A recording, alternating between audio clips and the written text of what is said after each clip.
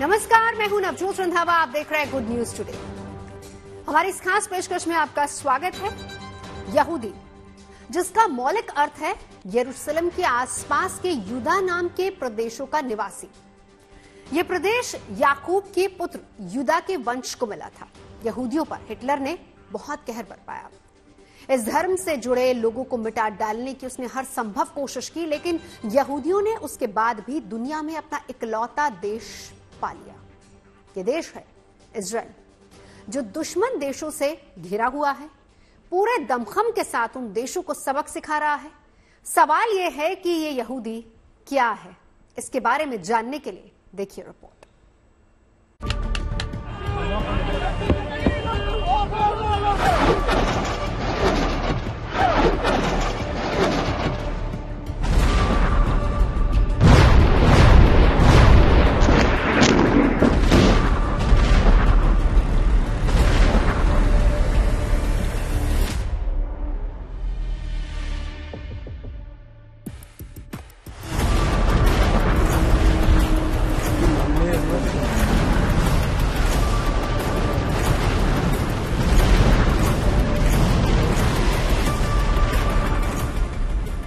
Hamas की एक गलती गाजा को नेस्तानाबूद की राह पर ले गया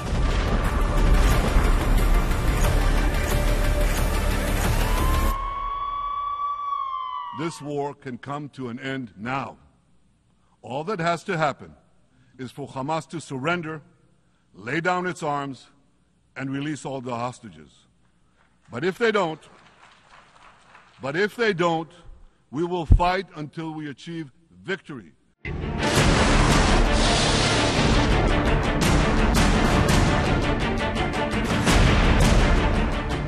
Hezbollah का हमास को साथ देना, उसे मटियामेट करने की ओर ले ही चला। लेबनान को भी तबाह करवा दिया।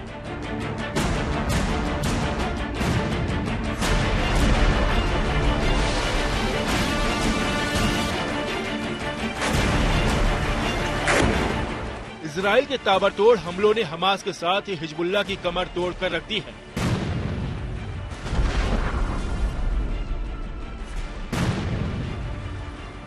מדינת ישראל חיסלה אתמול את רב המרצחים חסן נסראללה. סגרנו חשבון עם מי שאחראי לרצח אין ספור ישראלים ואזרחים רבים של מדינות אחרות, כולל מאות אמריקנים ועשרות צרפתים. נסראללה לא היה עוד מחבל, הוא היה המחבל. הוא היה הציר של הציר, המנוע המרכזי של ציר הרשע של איראן. הוא ואנשיו היו אדריכלי התוכנית להשמדת ישראל.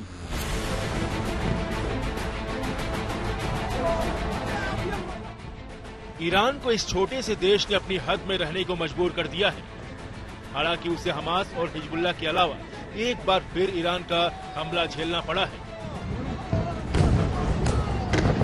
סינואר ודף לא הבינו זאת, נסראללה ומוחסן לא הבינו זאת, וכנראה יש בטהרן אלה שלא מבינים זאת. הם יבינו. נעמוד בכלל שקבענו. מי שתוקף אותנו, אנחנו תוקפים אותו.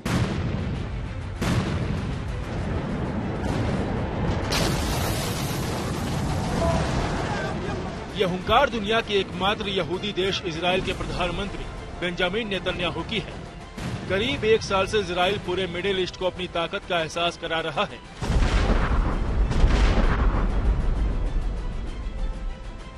Well, I've come here today to say enough is enough.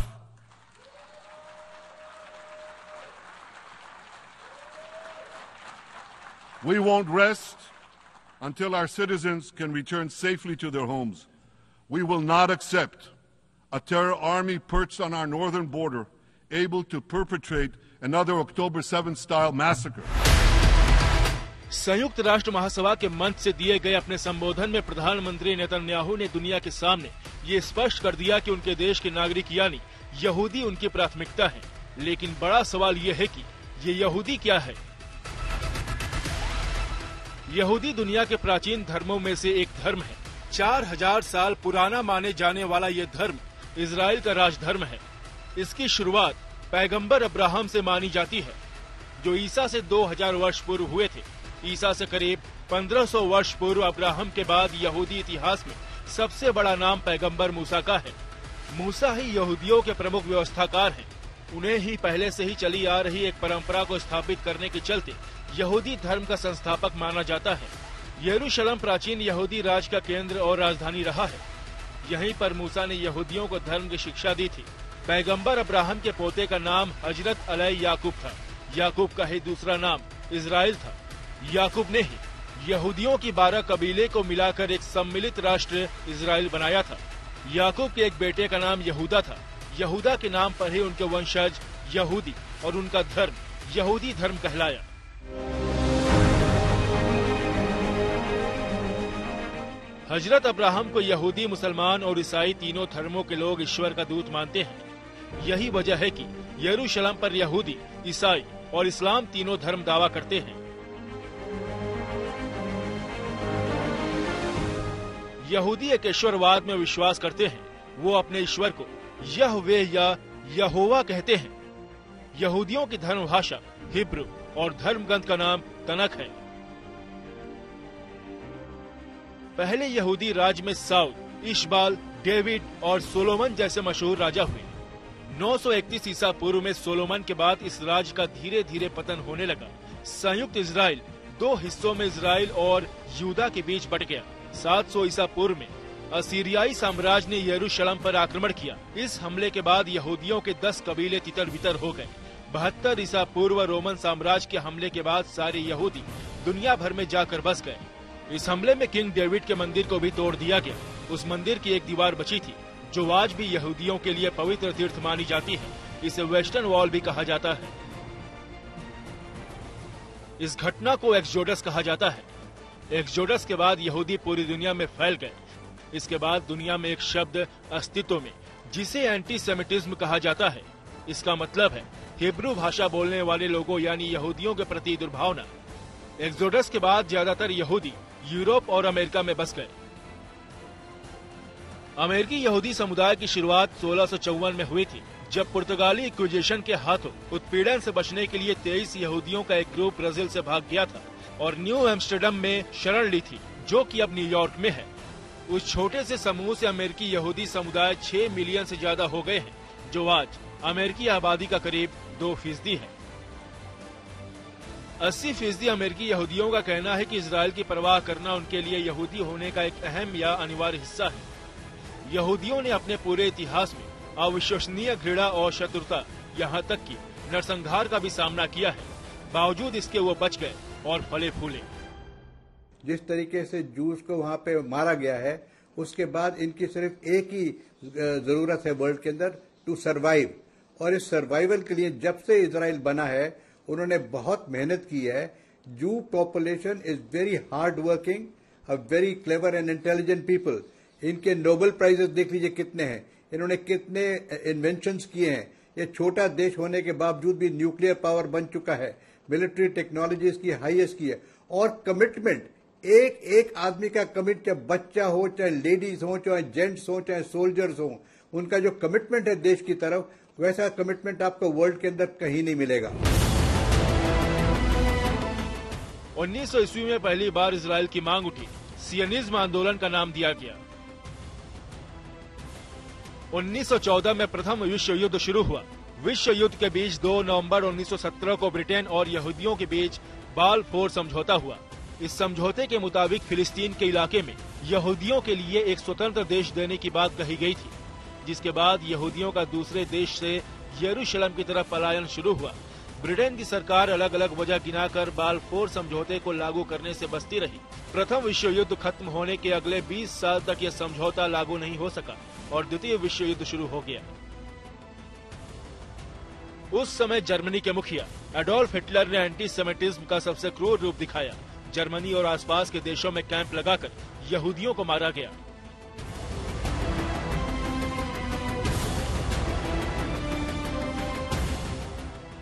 Holocaust इतिहास का वो नरसंहार था जिसमें छह साल में करीब साठ लाख यहूदियों की हत्या कर दी गई थी, जिनमें पंद्रह लाख सिर्फ़ बच्चे थे। कई यहूदी अपनी जान बचाकर देश छोड़कर भाग गए। कुछ कंसंट्रेशन कैंप्स में क्रूरता के चलते तिल तिल मरे। विश्व युद्ध खत्म होने पर जब दुनिया भर में यह बात फैली तो पूरी दुनिया की संवेदना यहूदियों के साथ हो गई। जिस तरीके से इनकी कैपेबिलिटीज थी, जिस तरीके से इनकी डेडिकेशन है जिस तरीके से ये अपने आप को कंडक्ट करते हैं, उसी से एक किस्म की थ्रेट बन रही थी। तो इन्होंने जितने भी जूस थे, उनको इकट्ठा करके गैस चैम्बर में मारा है। बहुत बुरी तरह से उनको परेशान करके मारा है। तो यही रीजन था कि वो नहीं चाहते थे कि किसी प्रकार से ये कम्युनिटी और डेवलप हो, क्योंकि ये बाद में जाके वर्ल्ड के अंदर एक खतरा पैदा कर सकती थी। तो यही उसका रीजन था कि इनके साथ जितना जुल्म करे और जितना खत्म कर सके वो करे। लेकिन फिर भी उतना होने के बावजूद भी, ये देखिए देश आज कहाँ खड़ा है। दूसरे विश्व युद्ध के खत्म होने के बाद भी जुलाई 1946 तक लगातार छह सालों के युद्ध से ब्रिटेन कमज़ोर हो चला था। इसके बाद भी यहूदियों के अप्रवासन का सिलसिला जारी रहा। इन सब के बीच बढ़ती हिंसा को रोक पाने में नाकाम रही ब्रिटिश राज ने यूएन से इस मसले का हल निकालने को कहा। इसके बाद नवंबर 1947 में यूएन ने फिलिस्तीन को तीन हिस्सों में बांटने का फैसला किया। पहला हिस्सा यहूदियों को, दूसरा अरब को और तीसरा येरूशलम हुआ। 14 मई 1948 में अंग्रेज़ी राज खत्म हो गया और इसराइल ने खुद को एक आज़ाद देश घोषित कर दिया। 17 सितंबर 1950 को भारत ने भी इसराइल को मान्यता दे दी। आज का आधुनिक और मज़बूत इसराइल ऐसे ही नहीं बन गया। यहूदियों ने इसके लिए सदियों सदियों तक जद्दोजहद की है। हर तरह की मुसीबतों का सामना किया और खुद को मज़बूत बनाते रहे। हालात कैसे भी रहे हो, यहूदियों ने अपना देश बनाने का सपना दिलो दिमाग में ज़िंदा रखा। सदियों बाद इतिहास ने करवट ली तो 50 से ज़्यादा अरब देशों के विरोध के बावजूद इसराइल अस्तित्व में आया और आज एक ताकतवर देश के रूप में मौजूद है। Bureau report, good news today. वो देश जिस पर दुश्मन देशों का खतरा हमेशा बना रहता है। इसके बावजूद वो उन पर भारी पड़ता है। युदाबाद से शुरू हुआ यहूदी समुदाय का सफ़र मौजूदा काल तक चला आ रहा है। अभी के समय में इनका देश काफ़ी ताकतवर नज़र आता है। आखिर इसके पीछे वजह क्या है? ये जानना भी बेहद ज़रूरी है।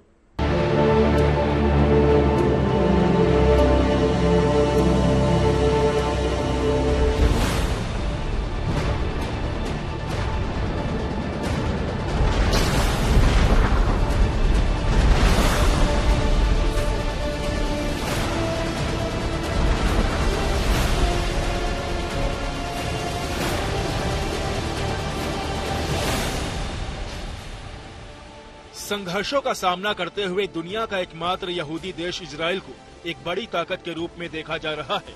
भूमध्य सागर के पूर्वी तट पर स्थित ये छोटा सा देश मिडिल ईस्ट में अपने दुश्मनों से घिरा हुआ है। फिलिस्तीन, लेबनान, यमन, ईरान जैसे देश इसराइल के लिए चुनौती बने हुए हैं। लेकिन ये देश न सिर्फ़ डटकर उन चुनौतियों का सामना करता रहा है, बल्कि किसी गुस्ताखी का ऐसा जवाब देता है कि उसके दुश्मन खौफ से थर्राने लगते हैं।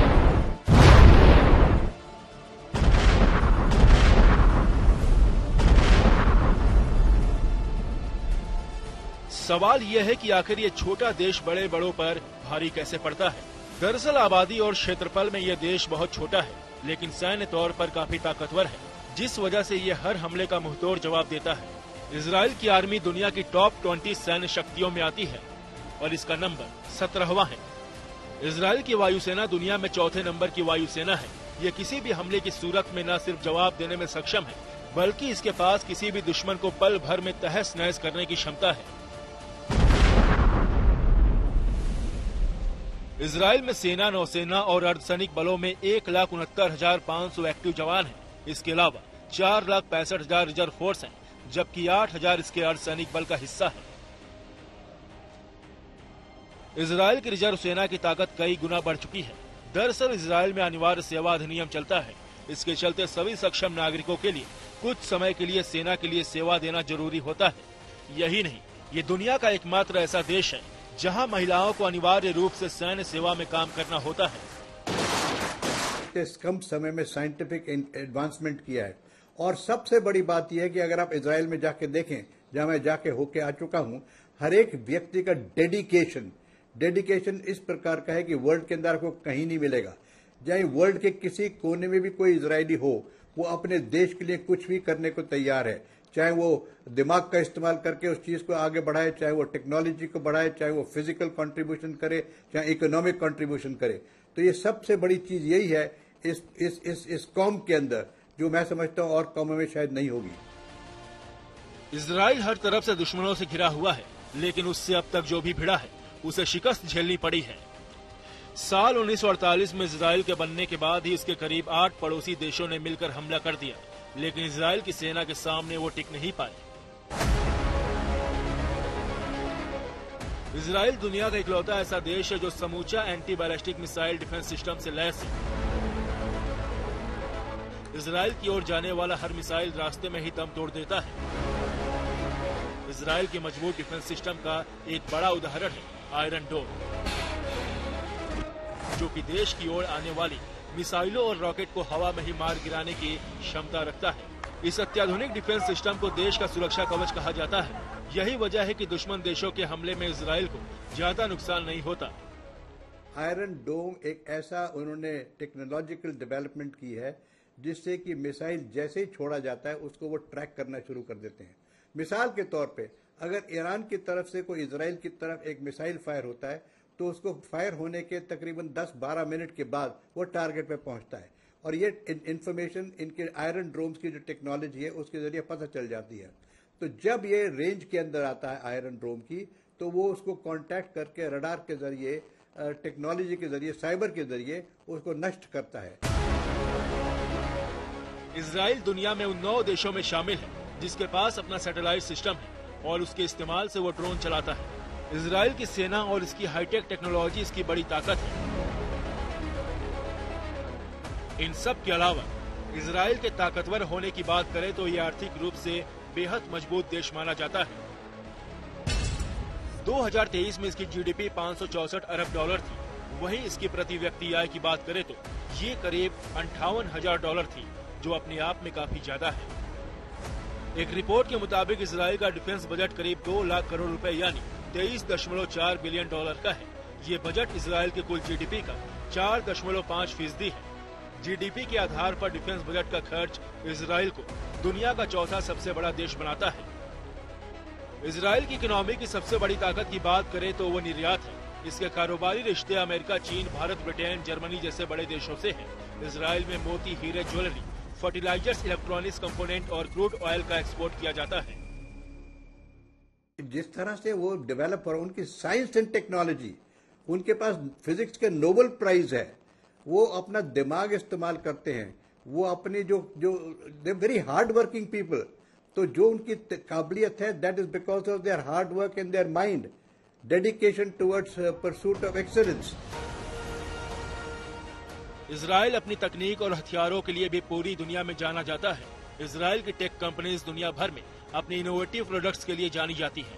इसके अलावा इसराइल कुछ खास सेक्टर से अच्छी कमाई करता है। ऑटिक्स मेडिसिन बायोटेक्नोलॉजी और कंप्यूटर साइंस के क्षेत्र में इसराइल के कई एडवांस प्रोडक्ट्स हैं, जिनकी मांग दुनिया भर में है। इसराइल घरेलू कंप्यूटर्स उपयोग के मामले में दुनिया में पहले नंबर पर है। पिछले सात दशकों में इसराइल सामूहिकतावादी नीतियों पर चलने वाले कृषि प्रधान राज्य में एक हाईटेक अर्थव्यवस्था में विकसित हो गया है। Bureau report, good news today.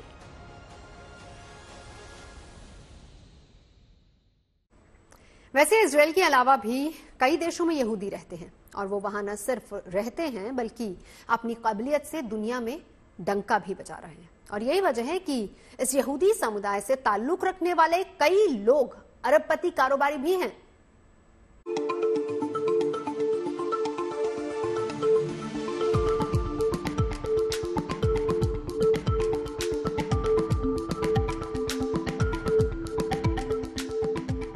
छोटा सा देश, कम आबादी, लेकिन तकनीक से लेकर कारोबार तक में गजब की पकड़। ये है इकलौती यहूदी देश इसराइल की खासियत। इसके दम पर ही मिडिल ईस्ट में उसकी तूती बोलती है और अपने दुश्मनों पर यह भारी पड़ता है। इसराइल में दुनिया भर में जन्म लेने वाले यहूदियों के लिए विशेष प्रावधान है। यहूदियों के बच्चों के जन्म लेते ही इसराइल की नागरिकता मिल जाती है और वो जब चाहे वहाँ बस सकते हैं। इसराइल के बाद अमेरिका और कनाडा में सबसे ज़्यादा यहूदी रहते हैं। इसके अलावा फ्रांस, ब्रिटेन, अर्जेंटीना, रूस, ऑस्ट्रेलिया, जर्मनी, ब्राज़ील के साथ ही भारत में भी यहूदी रहते हैं। कम आबादी होते हुए भी कमाई और संपत्ति के मामले में यहूदी किसी पैमाने पर पीछे नहीं।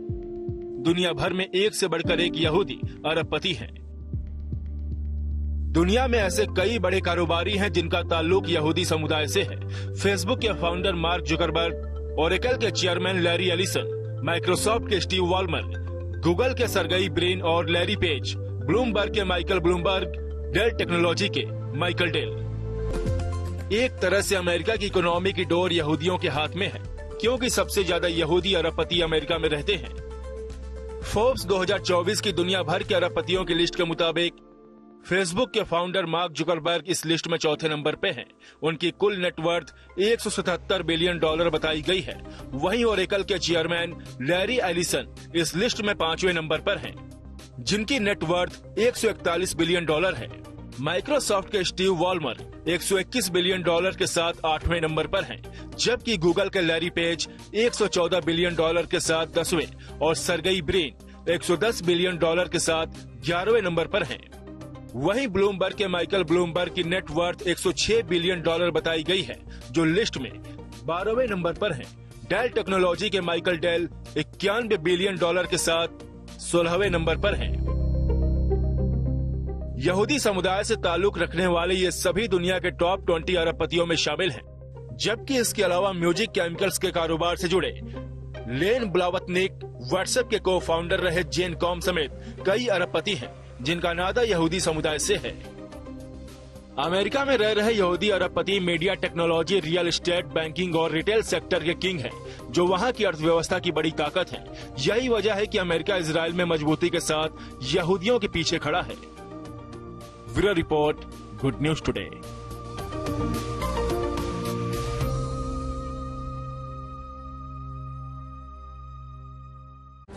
इस खास पेशकश में अभी के लिए बस इतना ही। देश और दुनिया की तमाम अच्छी खबरों के लिए आप देखते रहिए गुड न्यूज़ टुडे